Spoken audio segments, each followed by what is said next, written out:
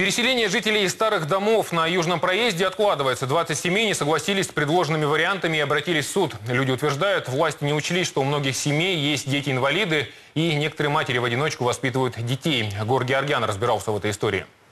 Приезжали уже сами из Белого дома и сказали, а вы не боитесь, что зимой могут сжечь эти бараки? Вот даже уже открытый текст поступает с Белого дома. Жители квартала бараков за скульптурной композицией слоны Белым домом называют администрацию железнодорожного района. Вот только отношения между людьми и чиновниками складываются отнюдь не светлые. Выселяемые говорят, выживают их всеми способами. Большинство жителей этих домов уже переселились в микрорайон Покровский. Оставшиеся семьи, которые не удовлетворены предложенными условиями, ведут тяжбу с администрацией города, и люди будут жить здесь до тех пор, пока идет суд. Татьяна Пестова, у которой есть тяжело больной сын, давно живет в квартире, где бабушка оставила ей две комнаты из трех. Женщина уже несколько лет стоит в очереди в администрации железнодорожного района на получение жилья.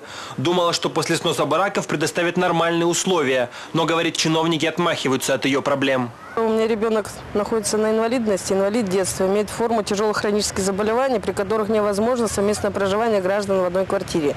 Я, как понимаю, он не может со мной даже проживать, а меня пихает в коммуналку. При этом чиновники из администрации железнодорожного района, по словам Татьяны, решили сыграть на опережение и начали разбирательство с целью убрать женщину с двумя несовершеннолетними детьми из квартиры. Администрация подала на нас на переселение, мы выиграли этот суд и выиграли краевой суд. Краевой суд сказал, не трогайте их, пока они свой суд не закончат. Мы вперед их подали на суд, на администрацию. Очередное заседание у Татьяны состоится 24 октября. Но женщина, для которой тяжба тянется с июля, не верит, что оно станет последним. А в департаменте градостроительства надеются решить все вопросы с жителями квартала бараков до Нового года. У нас э, уже два дома снесены там.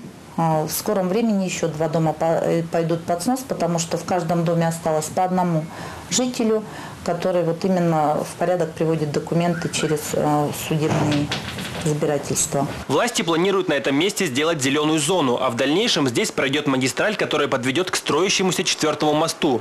Но от чего-то жители бараков не слишком радуются тому, что дорожная ситуация в городе улучшится. Гор Георгиан, Дмитрий Бородай, Сергей Раков, Седьмой канал, Новости 24.